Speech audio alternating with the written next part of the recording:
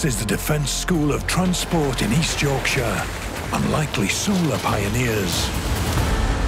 Straight up and don't hit that curb at the top or we'll be over. It's home to training squadrons for the Army, Air Force and Marines. Biggest driving school in the world, here in Leconfield. 10,000 students a year. 500 vehicles are operated from here, and collectively, they accumulate 5 million miles a year. The principles of power generation date back to the 19th century. This is how you make electricity. We've got some steam on here, boys. Really, we've just made our own power station. We've got the heat that's boiling the water. The water is creating steam. The steam's turning the turbine. The turbine turns the generator. And the light bulb is the national grid. You can see, look, come on, come on. There's a little bit of a glimmer. Can you see? Test Raja, it makes a bang. Stick a bit of a flame to it, kaboom.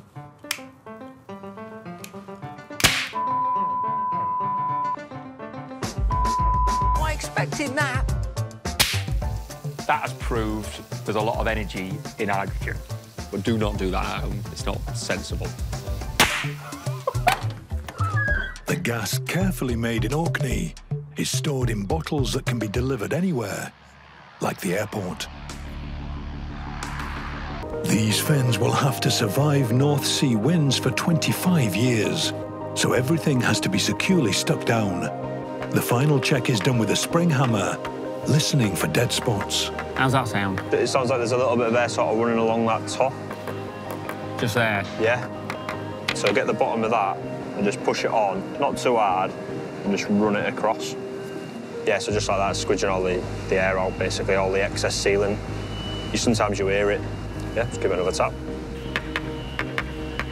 Yeah.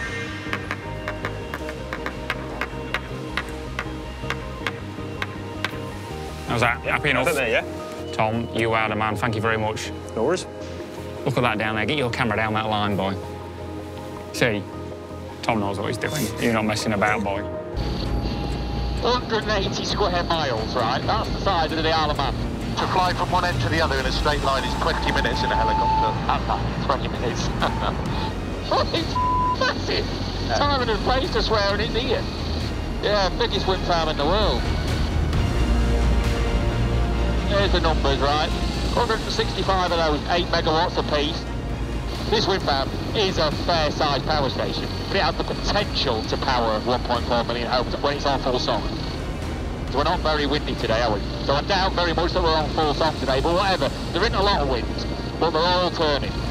Look at them. 165 of the buggers. Prepare for an emergency wagon on the sea.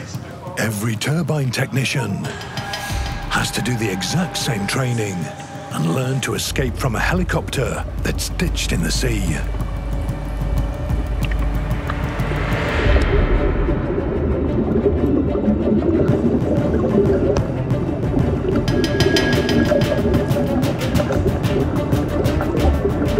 While the rest of the students escape,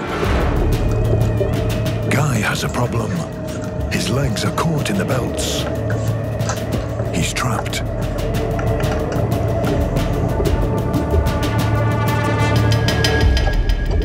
Without the instructor, he'd have drowned. We're gonna have to do that one again. Let's release your seatbelt for you. And so the training continues. And by the end of the day, Guy knows not only how to escape from an underwater helicopter,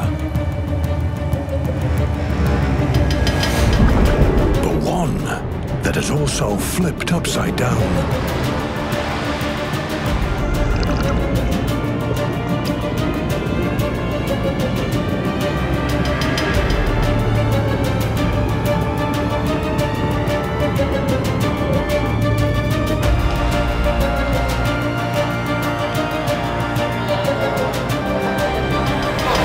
I've got my certificate, so I've passed. You see, I passed. Um, yes, I'm over the moon, really. Over the moon. Um, we all passed. So that's four of us off out to the wind farm. The biggest wind farm in the world. It's not just the biggest wind farm in the country, it's the biggest wind farm in the world. Yeah, let's go have a look. Looking forward to it. two, one.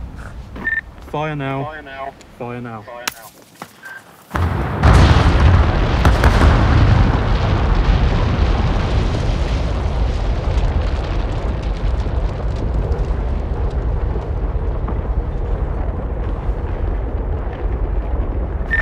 Sentries, maintain your position. Not messing. Said as calmly as that. Did you like that? Was that too that was mega. Thank you very much. In the space of 12 seconds, a 50 year landscape has changed forever. That was just absolute devastation. The substation next door survives intact, but otherwise Eggborough is now rubble. I'm, I'm, I'm going to be a bit getting over that. 99% of which will be recycled.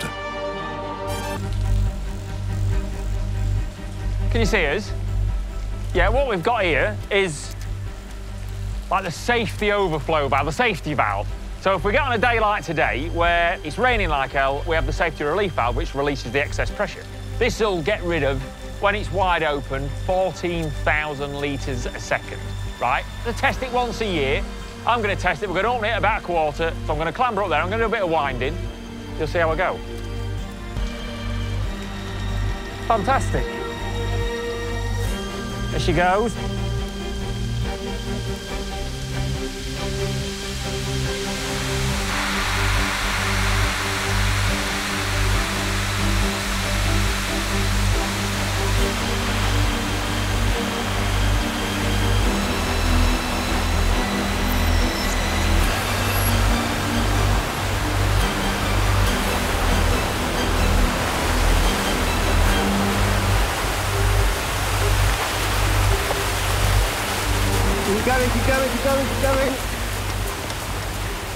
Water escapes with the same ferocity that it spins the turbines, an awesome force with which to make clean electricity.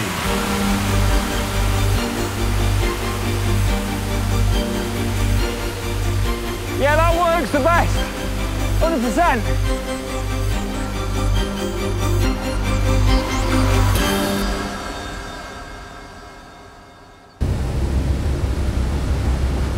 Like the surface of the sun.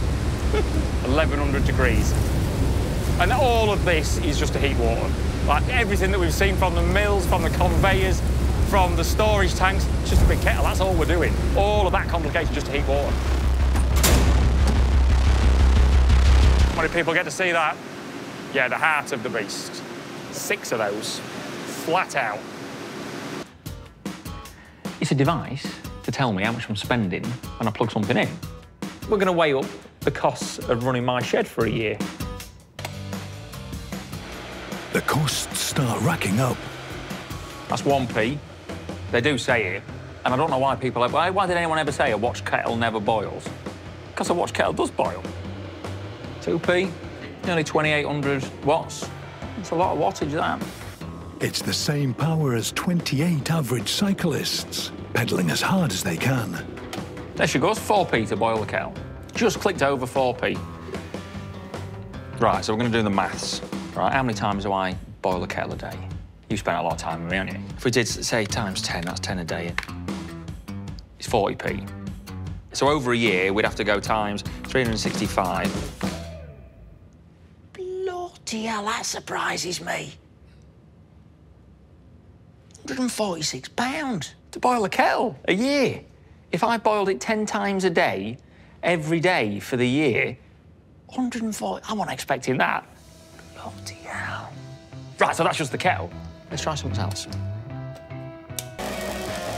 The testing continues with Guy's welder, his garage freezer, and a workshop essential for heating up engine parts.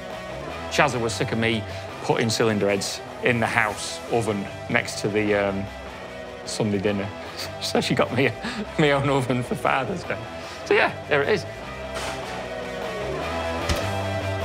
Five regular items, and one shocking grand total. So for the year, to run my shed, and I am, this isn't made up, I haven't, said I don't know what this number's going to be, but it's going to be, bloody hell, 730 quid a year just to run the shed. Hey, 732 pounds a year. I'm gonna pat the kettle up, huh?